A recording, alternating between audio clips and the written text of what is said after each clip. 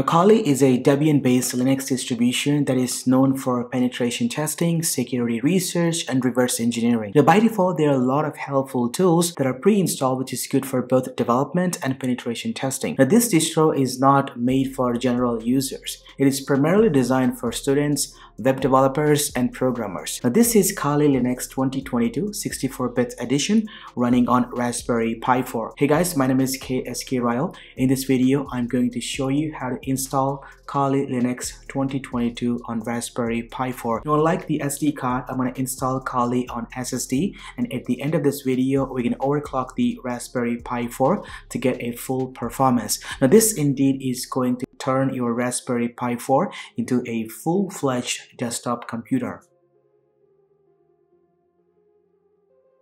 Alright, first and foremost, go ahead, open your favorite browser. Then the first link will gonna take you to the Kali Linux official website. Now click on the big download button and look for ARM builds. Now under the Raspberry Pi 4 Foundation, you can find Kali Linux. It's available in both 32 and 64-bit. Now for now, I'm gonna choose the 64-bit edition. Now open the second link which will take you to this page and download the Balena Etcher. Now once it's done downloading all of the files, place them somewhere on your computer for easier navigation. Now go ahead and install Balena Etcher on your computer and open it.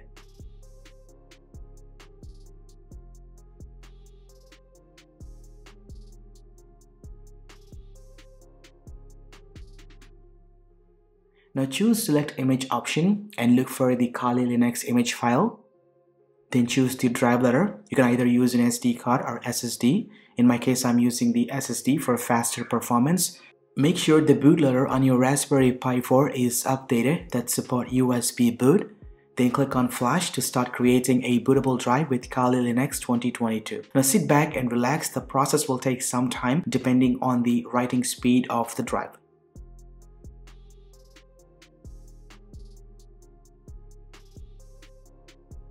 Now as you can see it has done flashing. Now go ahead eject the USB drive.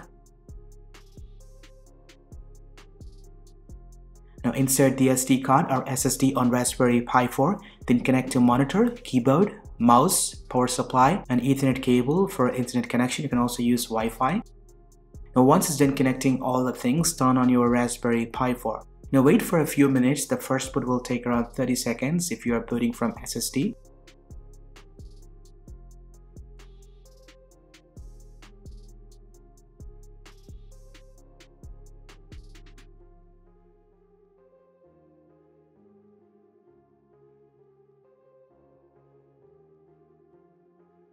That's it. We are successfully installed Kali Linux 64-bit on Raspberry Pi 4. Now by default, the username and password is Kali.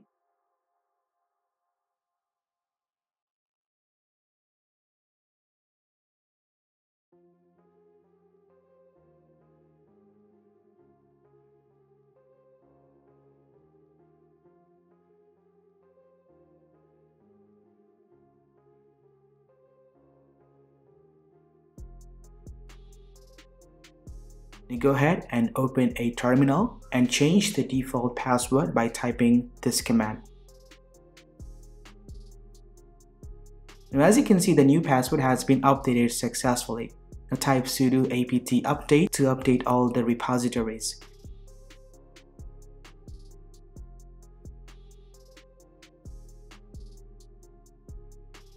Now once it's done, type sudo apt upgrade to upgrade the system. Now, if in case you see any dependency issue, install the package, then upgrade the system.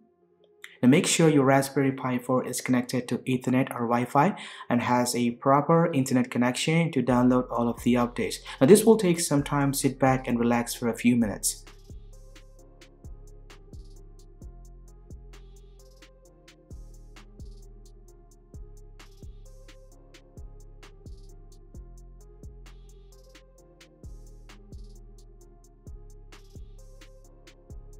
The Kali Linux 2022 for Raspberry Pi 4 comes with XFCE desktop and brings some new features which include kernel 5.4, refreshed browser landing page, new tools in Kali, shell prompt changes, SSH wide compatibility, and more. Now Kali Linux turns your Raspberry Pi 4 into a full-fledged desktop computer. You can use this distribution for programming and penetration testing. As you can see, it looks fantastic on Raspberry Pi 4.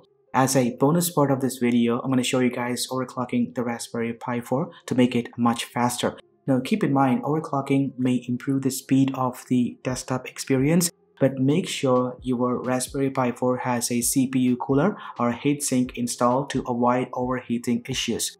To do so, open the terminal and type sudo su to enter into a super user mode, then type nano boot config.txt and add these lines to the bottom. Now by adding these lines, we are overclocking the CPU to 2000 MHz and GPU to 700 MHz. And also please make sure your power supply is capable of providing a sufficient juice to make this possible.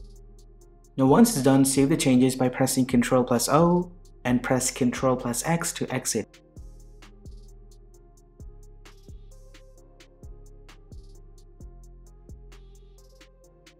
Now restart the Raspberry Pi 4 and voila, now you can see the Raspberry Pi 4 is running at 2000 megahertz. The system is much responsive. When it comes to video playback, you can stream the 720p video on YouTube without any issues. Now more than that resolution, your system may tend to struggle a lot and you can see a lot of frame drops.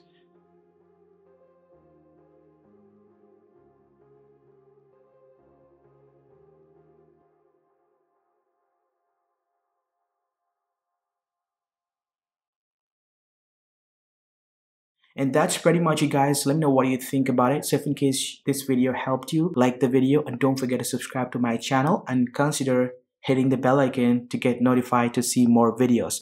Thanks for watching. This has been KSK Royal. I will see you in my next one.